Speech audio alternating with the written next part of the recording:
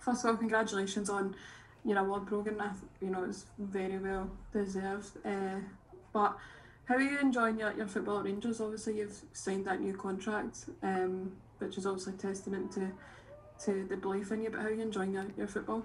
Yeah, um, I absolutely love playing football here. Um, I think the facilities we have, the staff, um, like my teammates, I, I think they, I should give them all credit to help me become the player that I've like worked hard to become lately and obviously worked hard to try and get a new contract. I think that obviously playing alongside some of the, the best players in the country really helps me grow as a person and then I think that it's great the the belief that not just our staff but the club as a whole has and the women's team and the investment and how much they're trying to help us grow is, is going to help me but not just me it's going to help the whole club um, youth players people growing up who inspire to be in the first team it's something like they can work towards. It's a dream that now like looks achievable. There's no denying that obviously you're a huge kind of key player in the team. Um, I don't think I've ever seen somebody kind of run so fast in a pitch in all my life. I'm yet to see it, but.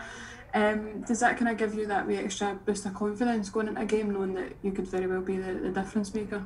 Um, yeah, just I, I just go into every game with um, the same mindset. I, I want to make as much of an impact um, on the team as I can. Just want to try and like work hard every time I come on and try and kind of earn a spot that I can try and keep and I know like it's obviously a very competitive environment it helps a lot at training because at the end of the day we all want the same goal and we work hard for not just ourselves but for each other so I think like coming on to any game you, you just want to do your best for like not only me but the rest of the team and the club as a whole so yeah I just like obviously try and do the best I can each time I come on, yeah. And just lastly, kind of on the award itself, um, you know, how pleased are you that your your impact has, you know, definitely been, you know, recognised, you know, especially by other people in the league and, you know, people outside the league that have, have voted for you, you know, how pleased must you be with that? Yeah, um, I was obviously delighted to be nominated and yeah, I'm really happy to have like gotten the award. Um, like obviously thank you to everyone who voted and stuff, but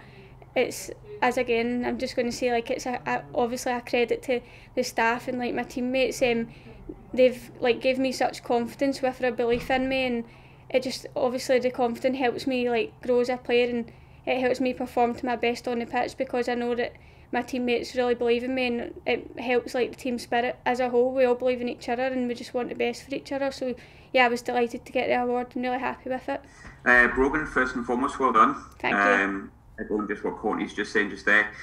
Um, you talked about relationships there and your teammates and, and whatnot. How much have you enjoyed playing with Rachel since she's come in? Yeah, um, I, I have really enjoyed playing with Rachel. I, I think she's a great player and she's a great person. And one thing that really helps me with Rachel is she's very vocal on the pitch. Like she she gives me instruction. She really helps. Like if like maybe I'm maybe out of position defensively, which is something I'm trying to work on myself and trying to grow that part of my game. Like it's good to have someone behind me who's like speaks to you a lot and helps you. And I also think like she's really good at going forward. I think we we link up quite well on the right side together. Um, regarding the time you've been at Rangers, obviously you've just signed a new contract, but you've been there probably longer than sort of some players that are there currently. How far on does the club felt like it's came? Oh, that's a wrong word. How far has the club came on since like this season in comparison maybe in the past?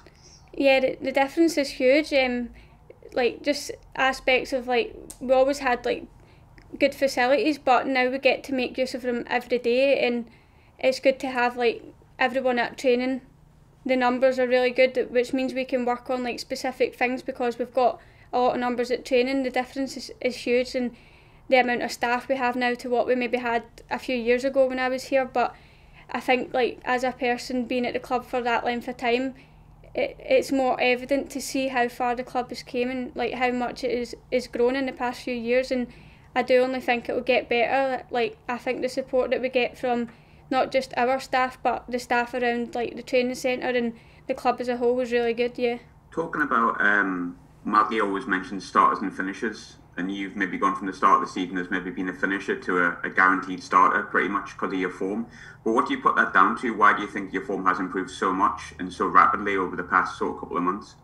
Um, I think it's maybe a combination between like the hard work and competitive environment and training. Everyone's like fighting for that starting position, but we also know how important it is to come on in a game and just like try and make as much of an impact as possible because you know you can come on you can change a game and you can just change the whole dimension of the game um, so I think everyone in the team knows that the people who come on in the game are just important as the people who start like we're all just one big team and we know that I think one of the biggest things for the people coming on is that we all have just as much belief in the players who come on as we do as the ones that start and it really helps everyone's confidence so I think like hard work and confidence in each other is probably the biggest thing for the both the players who start and the ones who come on in the game. And last but not least, I think Alan sort of touched on it before with, with Kevin possibly, but you've played obviously the youth levels and came up through the ranks with Scotland.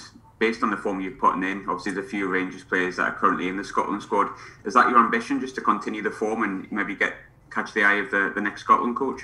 Yeah, well, um, coming like through the youth ranks at Scotland, it was obviously it's always like a dream to try and get to that like top level and play in the A squad, and it's still like an ambition of mine to try and get there. And I just hope like with the recent like games at Rangers and stuff that if I keep working hard, I can try and like earn a, at least a chance to try and get there because it's obviously something I've always dreamed of.